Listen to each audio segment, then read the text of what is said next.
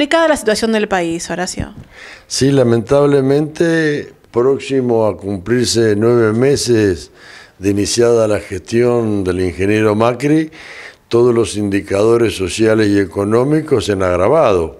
Y el principal afectado por esta situación eh, es el trabajador registrado, el trabajador informal, en síntesis los sectores más vulnerables, pero observemos que la crítica se ha generalizado, porque el comerciante, el empresario pyme, el profesional, tiene algún motivo legítimo lo suficientemente fundado para expresar su disconformidad. Recordemos que el presidente en su momento dijo que el tema de los aumentos fue gradual. Bueno, eh, se celebraron paritarias.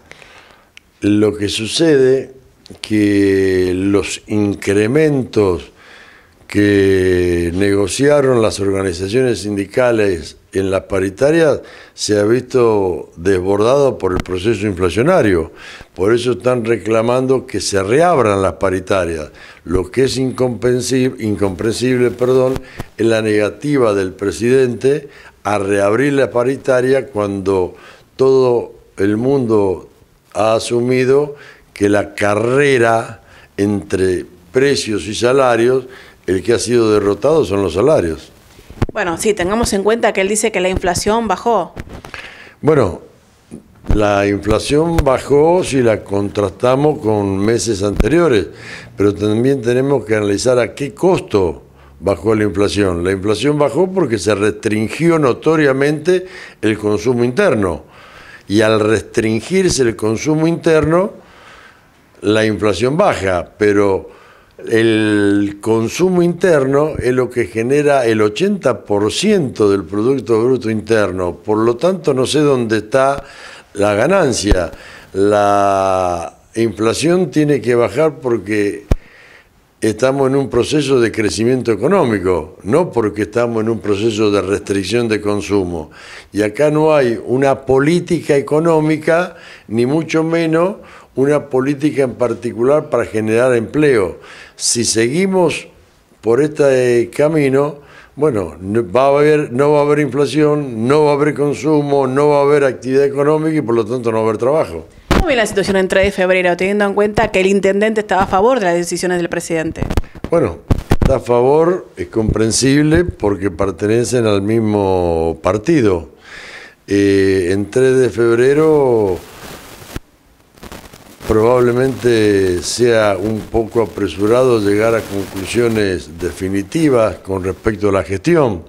Hasta ahora han sido anuncios genéricos, simple maquillaje, como se dice comúnmente, y en lo que hace a la acción política del intendente me parece muy básica, muy primaria, casi inexistente.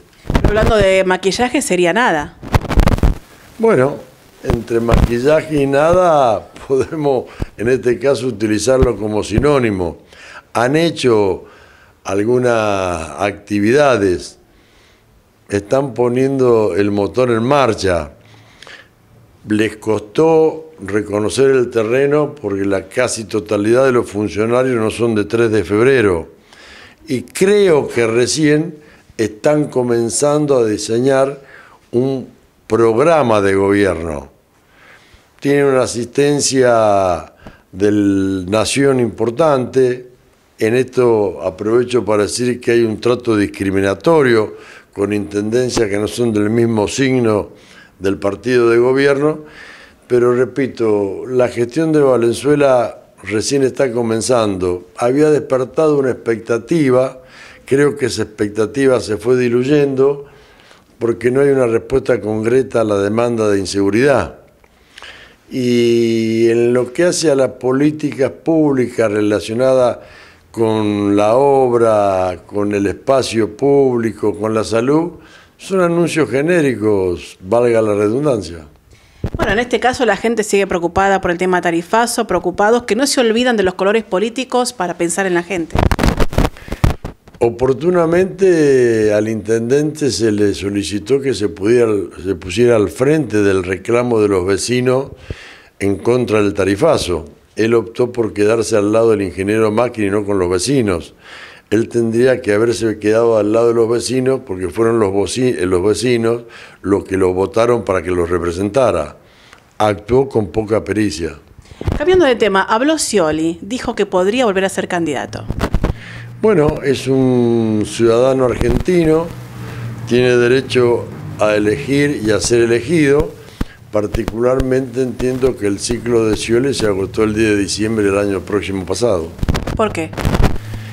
Porque Scioli no ganó la elección, más allá de que haya perdido por dos puntos o dos puntos y medio, pero Scioli nunca fue el jefe político del sector que representó como candidato.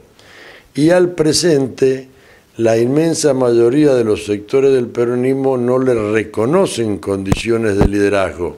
Pueden mantener algunos niveles de aceptación, pero muy bajos en comparación con los que supo tener meses atrás cuando estaba en el gobierno. El Frente Renovador insistió y logró que basta a la reelección indefinida. Bueno, eso es por nuestro compromiso con la calidad institucional. Creo que fue un paso significativo adelante. Eh, nosotros, desde la constitución del Frente Renovador, nos comprometimos con la calidad institucional y además hicimos pública nuestra posición en contra de las reelecciones indefinidas. Días atrás, eso fue sancionado en la legislatura bonaerense, agradecemos el acompañamiento de otras fuerzas políticas y sería altamente positivo que así como se votó en provincias, se vote en la nación y otras provincias adhieran a las reelecciones, al, al no, perdón, a las reelecciones indefinidas para que no se desvirtúen los procesos democráticos.